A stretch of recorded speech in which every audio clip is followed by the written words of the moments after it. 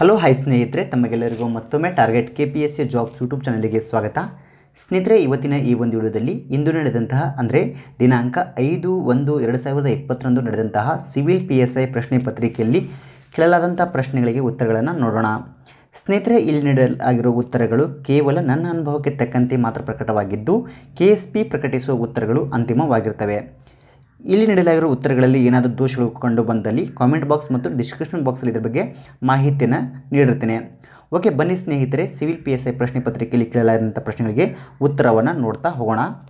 So ಮೊದಲನೇ ಪ್ರಶ್ನೆ, ಅಶೋಕನು ಯಾವ ರಾಜಮನೆತನಕ್ಕೆ, ಅಶೋಕ ಯಾವ ರಾಜಮನೆತನಕ್ಕೆ ಸೇರಿದವನಂದರೆ ಇದಕ್ಕೆ ಸರಿಯಾದ ಉತ್ತರ ಮೌರ್ಯರು. ಮೌರ್ಯ ರಾಜಮನೆತನಕ್ಕೆ ಅಶೋಕ ಸೇರಿದನ. ಇಲ್ಲಿ ಮೌರ್ಯ ವಂಶ, ಮೌರ್ಯ ರಾಜಮನೆತನದ ಸ್ಥಾಪಕ ಯಾರಂದ್ರೆ? ಚಂದ್ರಗುಪ್ತ ಮೌರ್ಯ. ಅದೇ ರೀತಿಯಾಗಿ ಇಲ್ಲಿ ಅಶೋಕನ ಬಿರುದನ್ನು ನೋಡೋದಾದರೆ ಅಶೋಕನ ಬಿರುದು ದೇವನಾಮ ಪ್ರಿಯ ಪ್ರಿಯದರ್ಶಿ. ಎರಡನೇ ಪ್ರಶ್ನೆ, ಸಿಮ್ಲಾ ಒಪ್ಪಂದವು ಈ ಕೆಳಕಂಡ ಯಾವ ವಿಷಯಕ್ಕೆ ಸಂಬಂಧಿಸಿದೆ? ಸಿಮ್ಲಾ ಒಪ್ಪಂದ ಯಾವುದಕ್ಕೆ ಸಂಬಂಧಪಟ್ಟಿತ್ತಂದ್ರೆ ಭಾರತ ಮತ್ತು ಟಿಬೆಟ್ ನಡುವಿನ ಗಡಿ. ಸೊ ಇದಕ್ಕೆ ಯಾವುದಂದ್ರೆ ಸಿಮ್ಲಾ ಒಪ್ಪಂದ ಸಂಬಂಧಪಟ್ಟೈತಿ. ಹಾಗಾದ್ರೆ ಈ ಸಿಮ್ಲಾ ಒಪ್ಪಂದ ಎಷ್ಟರಲ್ಲಿ ನಡೆದೈತೆ ಅಂದ್ರೆ ಹತ್ತೊಂಬತ್ತು ನೂರ ಹದಿನಾಲ್ಕರಲ್ಲಿ ನಡೆದಿತ್ತು. ಮೂರನೆಯ ಪ್ರಶ್ನೆ, ಭಾರತ ರತ್ನವನ್ನು ಸ್ವೀಕರಿಸಿದ ಪ್ರಥಮ ವಿದೇಶಿಯರು ಯಾರು? ಭಾರತ ರತ್ನವನ್ನು ಸ್ವೀಕರಿಸಿದಂಥ ಪ್ರಥಮ ವಿದೇಶಿ ವ್ಯಕ್ತಿ ಯಾರಂದ್ರೆ? ಖಾನ್ ಅಬ್ದುಲ್ ಗಫಾರ್ ಖಾನ್. ಎಷ್ಟರಲ್ಲಿ ಅಂದ್ರೆ? ಹತ್ತೊಂಬತ್ತು ನೂರ ಎಂಬತ್ತೇಳರಲ್ಲಿ ಖಾನ್ ಅಬ್ದುಲ್ ಗಫಾರ್ ಖಾನ್ರವರು ಭಾರತ ರತ್ನವನ್ನು ಸ್ವೀಕರಿಸ್ತಾರೆ.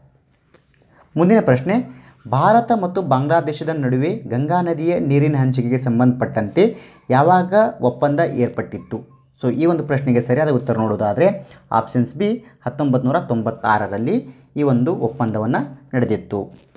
ಮುಂದಿನ ಪ್ರಶ್ನೆ, ರಾಷ್ಟ್ರೀಯ ಪೊಲೀಸ್ ಅಕಾಡೆಮಿಯು ಎಲ್ಲಿದೆ? ರಾಷ್ಟ್ರೀಯ ಪೊಲೀಸ್ ಅಕಾಡೆಮಿ ಎಲ್ಲಿದೆ ಹೈದರಾಬಾದ್ನಲ್ಲಿ ಐತಿ. ಆಪ್ಷನ್ಸ್ ಬಿ ಸರಿಯಾದ ಉತ್ತರ, ಹೈದರಾಬಾದ. ಸೊ ಈ ರಾಷ್ಟ್ರೀಯ ಪೊಲೀಸ್ ಅಕಾಡೆಮಿಯ ಹೆಸರೇನೆಂದರೆ ಸರ್ದಾರ್ ವಲ್ಲಭಾಯ್ ಪಟೇಲ್ ರಾಷ್ಟ್ರೀಯ ಪೊಲೀಸ್ ಅಕಾಡೆಮಿ. ಇದು ಸ್ಥಾಪನೆಯಾಗಿದೆ ಯಾವಾಗಂದ್ರೆ ಹತ್ತೊಂಬತ್ತು ನೂರ ರಾಷ್ಟ್ರೀಯ ಪೊಲೀಸ್ ಅಕಾಡೆಮಿ ಸ್ಥಾಪನೆ ಆಗಿದೆ. ಆರನೇ ಪ್ರಶ್ನೆ, ಅಂಕಲೇಶ್ವರವು ಯಾವುದಕ್ಕೆ ಪ್ರಸಿದ್ಧಿಯಾಗಿದೆ? ಅಂಕಲೇಶ್ವರ್ ಯಾವುದಕ್ಕೆ ಪ್ರಸಿದ್ಧಿಯಾಗಿದೆ ಆಗಿದೆ ಅಂದರೆ ಆಪ್ಷನ್ಸ್ ಬಿ ತೈಲ ಮತ್ತು ನೈಸರ್ಗಿಕ ಅನಿಲವನ್ನು ಹೊರತೆಗೆಯುವಿಕೆಗೆ ಅಂಕಲೇಶ್ಪುರ ಪ್ರಸಿದ್ಧಿ ಆಗೈತಿ. ಏಳನೇ ಪ್ರಶ್ನೆ, ಭಾರತದ ಯಾವ ಪ್ರಮುಖ ನದಿಯು ಪಶ್ಚಿಮ ಘಟ್ಟದಲ್ಲಿ ಉಗ್ ಉಗಮವಾಗುವುದಿಲ್ಲ? ಪಶ್ಚಿಮ ಘಟ್ಟದಲ್ಲಿ ಉಗಮವಾಗುವುದಿಲ್ಲ ಅಂತ ಕೇಳಿದರೆ, ಸೊ ಇದಕ್ಕೆ ಸರಿಯಾದ ಉತ್ತರ, ಮಹಾನದಿ. ಕಾವೇರಿ ನದಿ, ಗೋದಾವರಿ, ಕೃಷ್ಣ, ತುಂಗಭದ್ರಾ ಈ ನದಿಗಳು ಪಶ್ಚಿಮ ಘಟ್ಟದಲ್ಲಿ ಉಗಮವಾಗಿದ್ದರೆ ಗೋವಾ ಮಹಾನದಿ ಪಶ್ಚಿಮ ಘಟ್ಟದಲ್ಲಿ ಉಗಮವಾಗುವುದಿಲ್ಲ. ಆದ್ದರಿಂದ ಸರಿಯಾದ ಉತ್ತರ ಡಿ. ಎಂಟನೇ ಪ್ರಶ್ನೆ, ಭಾರತದಲ್ಲಿ ಅತಿ ಹೆಚ್ಚು ಕೇಸರಿಯನ್ನು ಉತ್ಪಾದಿಸುವ ರಾಜ್ಯ ಯಾವುದು? ಭಾರತದಲ್ಲಿ ಅತಿ ಹೆಚ್ಚು ಕೇಸರಿಯನ್ನು ಉತ್ಪಾದಿಸುವ ರಾಜ್ಯ ಯಾವುದಂದರೆ ಜಮ್ಮು ಮತ್ತು ಕಾಶ್ಮೀರ. ಸೊ ಭಾರತದಲ್ಲಿ ಅತಿ ಹೆಚ್ಚು ಜಮ್ಮು ಕಾಶ್ಮೀರದಲ್ಲಿ ಕೇಸರಿಯನ್ನು ಉತ್ಪಾದಿಸಲಾಗುತ್ತೆ ಸೊ ಅದೇ ರೀತಿಯಾಗಿ ಜಮ್ಮು ಕಾಶ್ಮೀರ ಜಗತ್ತಿನಲ್ಲಿ ಮೂರನೇ ಸ್ಥಾನವನ್ನು ಪಡ್ಕೊಂಡೈತಿ. ಜಗತ್ತಿನಲ್ಲಿ ಮೂರನೇ ಸ್ಥಾನದಲ್ಲಿ ಕೇಸರಿ ಉತ್ಪಾದಿಸುವಂತಹ ರಾಜ್ಯ ಯಾವುದಂದ್ರೆ ಜಮ್ಮು ಕಾಶ್ಮೀರ. ಒಂಬತ್ತನೇ ಪ್ರಶ್ನೆ, ಸಂವಿಧಾನ ರಚನಾ ಸಭೆಯ ಅಧ್ಯಕ್ಷರು ಯಾರಾಗಿದ್ದರು ಸಂವಿಧಾನ ರಚನಾ ಸಭೆಯ ಅಧ್ಯಕ್ಷರು ಯಾರಾಗಿದ್ದ ಆಗಿದ್ರಂದ್ರೆ ಡಾಕ್ಟರ್ ರಾಜೇಂದ್ರ ಪ್ರಸಾದ್. ಅದೇ ರೀತಿಯಾಗಿ ಕರಡು ಸಮಿತಿ ಅಧ್ಯಕ್ಷರು ಯಾರಾಗಿದ್ದರು ಅಂದರೆ ಡಾಕ್ಟರ್ ಬಿ ಆರ್ ಅಂಬೇಡ್ಕರ್ ಅವರು ಆಗಿದ್ದರು ಹತ್ತನೇ ಪ್ರಶ್ನೆ, ಭಾರತದ ಅತಿ ಪುರಾತನ ಬಂಡೆಗಳು ಯಾವ ಸ್ಥಳದಲ್ಲಿ ಕಂಡುಬರ್ತವೆ ಸೊ ಉತ್ತರ ಆಪ್ಷನ್ ಸಿ ಧಾರವಾಡ ಪ್ರದೇಶ ಕರ್ನಾಟಕದಲ್ಲಿ. ಹನ್ನೊಂದನೇ ಪ್ರಶ್ನೆ, ಸರಾ ಮರುಭೂಮಿಯ ಯಾವ ಖಂಡದಲ್ಲಿದೆ? ಸಹರಾ ಮರುಭೂಮಿಯಲ್ಲಿ ಕಂಡು ಬರ್ತೈತೆ ಅಂದ್ರೆ ಅದು ಆಫ್ರಿಕಾ ಖಂಡದಲ್ಲಿ ಕಂಡು ಬರುತ್ತೆ. ಹನ್ನೆರಡನೇ ಪ್ರಶ್ನೆ ಭಾರತದಲ್ಲಿ ಧಾನ್ಯ ಬೆಳೆಯುವ ಹೆಚ್ಚಿನ ಪ್ರದೇಶವನ್ನು ಈ ಬೆಳೆಗೆ ಉಪಯೋಗಿಸಲಾಗುತ್ತದೆ. ಯಾವ ಬೆಳೆಗೆ ಅಂದರೆ ಅದು? ಭತ್ತ ಬೆಳೆಗಾಗಿ. ಆಪ್ಷನ್ಸ್ ಸಿ ಸರಿಯಾದ ಉತ್ತರ. ಹದಿಮೂರನೇ ಪ್ರಶ್ನೆ. ಸಂಚಿ ಸ್ತೂಪವು ಯಾವ ಸ್ಥಳದ ಬೆಳೆ ಇದೆ? ಬಳಿ ಇದೆ. ಸಂಚಿ ಸ್ತೂಪವು ಯಾವ ಸ್ಥಳದ ಬಳಿ ಇದೆ? ಸೊ ಇದು ಎಲ್ಲೈತೆ ಅಂದ್ರೆ ಭೋಪಾಲ್ ಬಳಿ ಐತಿ. ಹದಿನಾಲ್ಕನೇ ಪ್ರಶ್ನೆ. ನೈಋತ್ಯ ಮಳೆ ಮಾರುತಗಳು ಭಾರತದಲ್ಲಿ ಶೇಕಡ ಡ್ಯಾಶ್ ಪ್ರಮಾಣದ ಮಳೆಯನ್ನು ಸುರಿಸುತ್ತವೆ. ಎಷ್ಟು ಪ್ರಮಾಣದಲ್ಲಿ ಮಳೆಯನ್ನು ಸುರಿಸ್, ಸುರಿಸುತ್ತಂದರೆ ಆಪ್ಷನ್ಸ್ ಎ ಎಂ ಶೇಕಡ ಎಂಬತ್ತಾರರಷ್ಟು ಮಳೆಯನ್ನು ಸುರಿಸ್ತೈತಿ. ಪ್ರಸಿದ್ಧವಾದ ರಾಕ್ ಗಾರ್ಡನ್ ಪ್ರಸಿದ್ಧವಾದಂಥ ರಾಕ್ ಗಾರ್ಡನ್ ಯಾವ ನಗರದಲ್ಲಿದೆ? ಸೊ ರಾಕ್ ಗಾರ್ಡನ್ ಎಲ್ಲಿ ಐತಂದ್ರೆ ಅಂದ್ರೆ ಚಂಡೀಗಢನಲ್ಲಿ ಐತಿ. ಹದಿನಾರನೇ ಪ್ರಶ್ನೆ, ಈ ಅಂಶವನ್ನು ಒಂದು ಜೀವಿಗೆ ನೀಡಿದಾಗ ಅದರಲ್ಲಿ ಪ್ರತಿನಿರೋಧಕ ಜೀವಿಗಳು ಉತ್ಪತ್ತಿಯಾಗುತ್ತದೆ. ಸೊ ಇದಕ್ಕೆ ಸರಿಯಾದ ಉತ್ತರ ಆಪ್ಷನ್ಸ್ ಎ ಕ್ಯೂ ಗಳಿ ಗಳಿಕೆ. ಕ್ಯೂ ಗಳಿಕೆ ಸರಿಯಾದ ಉತ್ತರ. ಮುಂದಿನ ಪ್ರಶ್ನೆ, ಹದಿನೇಳನೇ ಪ್ರಶ್ನೆ. ಭಾರತದಲ್ಲಿ ವಿದ್ಯುತ್ ಉತ್ಪಾದನೆಗಾಗಿ ಯಾವ ಕಚ್ಚಾ ವಸ್ತುವನ್ನು ಪ್ರಮುಖವಾಗಿ ಬಳಸಲಾಗುತ್ತದೆ? ಹದಿನೇಳನೇ ಪ್ರಶ್ನೆಗೆ ಉತ್ತರವನ್ನು ನೋಡೋದಾದರೆ ಆಪ್ಷನ್ ಸಿ ಕಲ್ಲಿದ್ದಲು. ಹದಿನೆಂಟನೇ ಪ್ರಶ್ನೆ. ಭಾರತದಲ್ಲಿನ ಅತಿ ಪುರಾತನ ಬೆಟ್ಟ ಸಾಲುಗಳು, ಭಾರತದಲ್ಲಿನ ಅತಿ ಪುರಾತನ ಬೆಟ್ಟ ಸಾಲುಗಳು ಯಾವಂದ್ರೆ ಅರಾವಳಿ ಬೆಟ್ಟ ಸಾಲುಗಳು. ಹತ್ತೊಂಬತ್ತನೇ ಪ್ರಶ್ನೆ. ಈ ಕೆಳಕಂಡಗಳಲ್ಲಿ ಮನುಷ್ಯನಿಗೆ ವೈರಸ್ನಿಂದ ಬರುವ ರೋಗ ಯಾವುದು? ವೈರಸ್ನಿಂದ ಬರುವಂಥ ರೋಗ ಯಾವುದಂದ್ರೆ ಇದರಲ್ಲಿ ಮಂಗನ ಬಾವು ಮಂಗನ ಬಾವು ರೋಗ ವೈರಸ್ನಿಂದ ಬರುತ್ತೆ. ಇನ್ನು ಮುಂದಿನ ಪ್ರಶ್ನೆ, ಇಪ್ಪತ್ತನೇ ಪ್ರಶ್ನೆ ನೋಡಿರಿ. ತಲೆಯು ಕತ್ತಿನ ಭಾಗಕ್ಕೆ ಸೇರುವಿಕೆಯ ಜಾಗ. ತಲೆ ಮತ್ತು ಕತ್ತಿನ ಸೇರುವಿಕೆಯ ಭಾಗ ಏನಂತ ಕರೀತಾರೆ ಅಂದ್ರೆ ಇಪ್ಪತ್ತನೇ ಪ್ರಶ್ನೆಗೆ ಸರಿಯಾದ ಉತ್ತರ ಪ್ಯೂಟಲ್ ಜಾಯಿಂಟ್ ಅಂತ ಕರೀತಾರೆ. ಇಪ್ಪತ್ತ ಒಂದನೇ ಪ್ರಶ್ನೆ. ಆಸ್ ಆಸ್ಕಾರ್ಬಿಕ್ ಆ್ಯಸಿಡ್ ಅನ್ನು ಸಾಮಾನ್ಯವಾಗಿ ಏನೆಂದು ಕರೆಯುತ್ತಾರೆ? ಇದನ್ನು ಸಾಮಾನ್ಯವಾಗಿ ವಿಟಮಿನ್ ಸಿ ಅಂತ ಕರೀತಾರೆ. ವಿಟಮಿನ್ ಸಿ ಸರಿಯಾದ ಉತ್ತರ. ಇಪ್ಪತ್ತೆರಡನೇ ಪ್ರಶ್ನೆ, ಈರುಳ್ಳಿಯು ಯಾವುದರ ಪರಿಷ್ಕೃತ ರೂಪವಾಗಿದೆ? ಈರುಳ್ಳಿಯು ಯಾವುದರ ಪರಿಷ್ಕೃತ ರೂಪವಾಗಿದೆ ಅಂದರೆ ಈರುಳ್ಳಿಯು ಕಾಂಡದ ಪರಿಷ್ಕೃತ ರೂಪವಾಗೈತಿ. ಇಪ್ಪತ್ತ್ಮೂರನೇ ಪ್ರಶ್ನೆ, ಕ್ಷಯ ರೋಗಕ್ಕೆ ಕಾರಣವಾಗುವುದು ಯಾವುದು? ಕ್ಷಯ ರೋಗಕ್ಕೆ ಯಾವುದು ಕಾರಣ ಆಕೈತಿ ಅಂದ್ರೆ ಮೈಕೋಬ್ಯಾಕ್ಟೀರಿಯಾ. ಮೈಕೋಬ್ಯಾಕ್ಟೀರಿಯಾ ಕ್ಷಯ ರೋಗಕ್ಕೆ ಕಾರಣ ಆಕೈತಿ. ಇಪ್ಪತ್ನಾಲ್ಕನೇ ಪ್ರಶ್ನೆ, ರೋಗಗಳನ್ನು ವರ್ಗಾಯಿಸುವ ಕೀಟಗಳನ್ನು ಏನೆಂದು ಕರೆಯುತ್ತಾರೆ? ರೋಗಗಳನ್ನು ವರ್ಗಾಯಿಸುವ ಕೀಟಗಳಿಗೆ ಏನಂತ ಕರೀತಾರೆ ಅಂದ್ರೆ ವೆಕ್ಟರ್ ಅಂತ ಕರೀತಾರೆ, ಆಪ್ಷನ್ ಸಿ ಎ ವೆಕ್ಟರ್. ಮುಂದಿನ ಪ್ರಶ್ನೆ, ಇಪ್ಪತ್ತೈದನೇ ಪ್ರಶ್ನೆ ಎಂ ಆರ್ ಐ ಇದರ ವಿಸ್ತೃತ ರೂಪವೇನು? ಎಂ ಆರ್ ಐ ಇದರ ವಿಸ್ತೃತ ರೂಪ ನೋಡ್ರಿ. Magnetic ರೆಸೊ, resonance imaging. Options B ಸರಿಯಾದ ಉತ್ತರ. ಇಪ್ಪತ್ತಾರನೇ ಪ್ರಶ್ನೆ ಈ ಕೆಳಕಂಡಗಳಲ್ಲಿ ಯಾವುದು ಪ್ರತಿನಿರೋಧಕಗಳನ್ನು ಉತ್ಪಾದಿಸುತ್ತದೆ? ಪ್ರತಿನೋ ಪ್ರತಿ ರೋಧಕಗಳನ್ನು ಯಾವುದು ಉತ್ಪಾದನೆ ಮಾಡ್ತಿತ್ತಂದ್ರೆ ಆಪ್ಷನ್ಸ್ ಡಿ ಲಿಂಪೋಸೈಟ್ ಲಿಂಪೋಸೈಟ್ ಸರಿಯಾದ ಉತ್ತರ. ಮುಂದಿನ ಪ್ರಶ್ನೆ, ಪಾಲಿಥೀನ್ ಅನ್ನು ಉತ್ಪಾದಿಸಲು ಬೇಕಾ ಬೇಕಾಗುವ ವಸ್ತು, ಪಾಲಿಥೀನ್ ಉತ್ಪಾದಿಸಲು ಏನು ಬೇಕಾಗುತ್ತೆ ಅಂದ್ರೆ ಎಲಿಥಿನ್ ಬೇಕು ಆಪ್ಷನ್ಸ್ ಬಿ ಸರಿಯಾದ ಉತ್ತರ. ಇಪ್ಪತ್ತೆಂಟನೇ ಪ್ರಶ್ನೆ ಒಂದು ಆಮ್ಲೀಯ ದ್ರಾವಣದ ಪಿ ಎಚ್ನ ಮೌಲ್ಯ ಡ್ಯಾಶ್ ಸೊ ಇದಕ್ಕೆ ಸ್ಮಾಲರ್ ದ್ಯಾನ್ ಸೆವೆನ್ ಏಳರಿಗಿಂತ ಚಿಕ್ಕದು. ಇಪ್ಪತ್ತೊಂಬತ್ತನೇ ಪ್ರಶ್ನೆ. ನಿರ್ಜಲೀಕರಣ ಉಂಟಾದಾಗ ದೇಹವು ಯಾವ ಅಂಶವನ್ನು ಕಳೆದುಕೊಳ್ಳುತ್ತದೆ? ಸೊ ಉತ್ತರ. ಇಪ್ಪತ್ತೊಂಬತ್ತನೇ ಪ್ರಶ್ನೆಗೆ ಉತ್ತರ. ಆಪ್ಷನ್ಸ್ ಬಿ ಸೋಡಿಯಂ ಕ್ಲೋರೈಡ್ ಮೂವತ್ತನೇ ಪ್ರಶ್ನೆ. ಕಾಫಿ ಮತ್ತು ಟೀ ಪಾನೀಯದಲ್ಲಿರುವ ಮುಖ್ಯ ಪ್ರಚೋದಕ ಯಾವುದು? ಸೊ ಇದಕ್ಕೆ ಸರಿಯಾದ ಉತ್ತರ, ಕೆಫೀನ್. ಮೂವತ್ತೊಂದನೇ ಪ್ರಶ್ನೆ. ಗ್ರಾಫೈಟ್ ರಾಡುಗಳನ್ನು ಅಣು ವಿದ್ಯುತ್ ರಿಯಾಕ್ಟರ್ಗಳಲ್ಲಿ ಬಳಸುವ ಉದ್ದೇಶ? ಸೊ ಉತ್ತರ ಆಪ್ಷನ್ಸ್ ಡಿ ವೇಗವಾಗಿ ಚಲಿಸುವ ನ್ಯೂಟ್ರಾನ್ಗಳನ್ನು ಥರ್ಮಲ್ ನ್ಯೂಟ್ರಾನ್ಗಳಾಗಿ ಪರಿವರ್ತಿಸುತ್ತದೆ. ಆಪ್ಷನ್ಸ್ ಡಿ ಮೂವತ್ತೆರಡನೇ ಪ್ರಶ್ನೆ.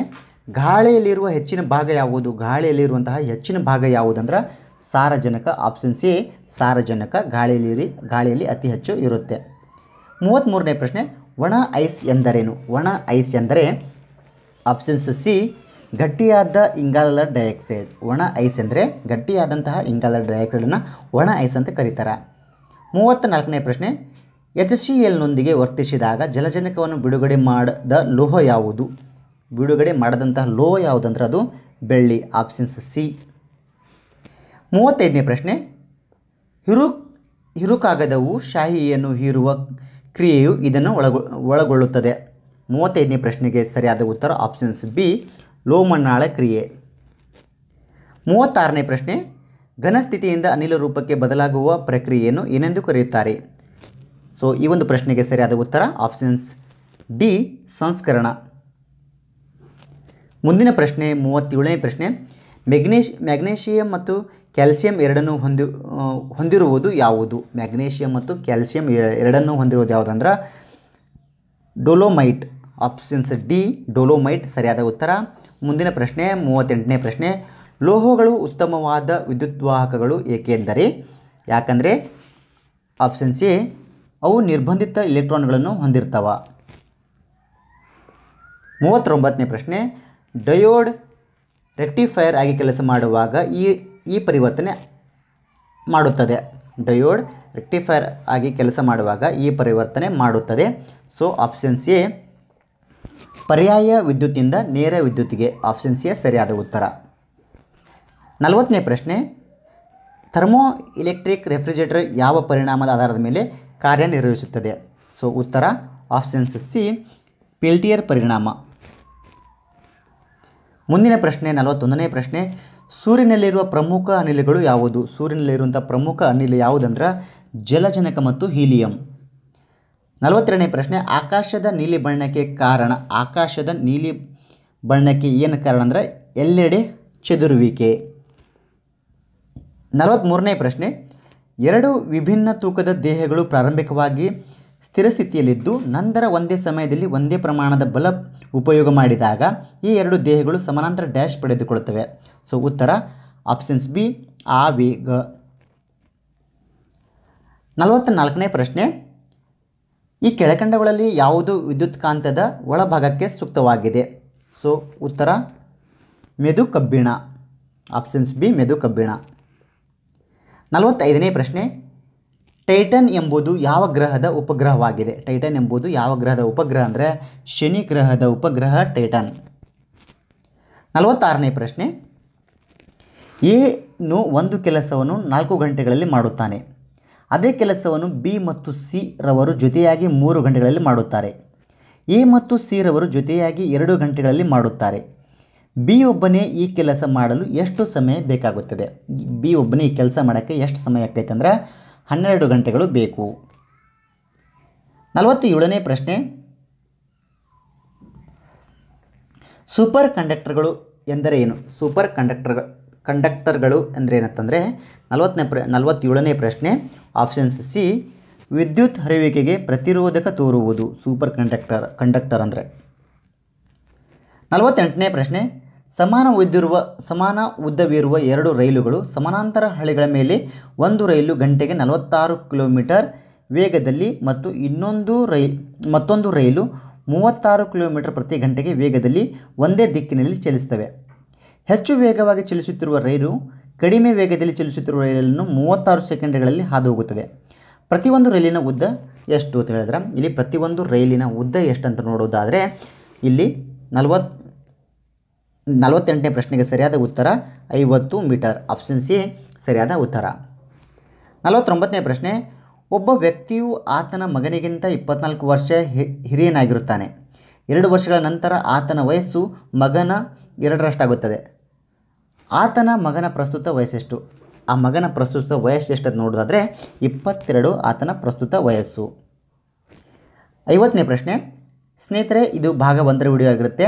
ಸೊ ಭಾಗ ಒಂದರ ವಿಡಿಯೋದಲ್ಲಿ ಪ್ರಶ್ನೆ ಸಂಖ್ಯೆ ಒಂದರಿಂದ ಐವತ್ತರ ಪ್ರಶ್ನೆಗಳಿಗೆ ನಾವು ಉತ್ತರವನ್ನು ನೋಡ್ತಾ ಇದ್ದೀವಿ. ಸೊ ಸದ್ಯದಲ್ಲಿ ಭಾಗ ಎರಡರ ವಿಡಿಯೋ ಪ್ರಶ್ನೆ ಸಂಖ್ಯೆ ಐವತ್ತೊಂದರಿಂದ ನೂರು ಪ್ರಶ್ನೆಗಳಿಗೆ ಉತ್ತರವನ್ನು ನೀಡ್ತೇನೆ.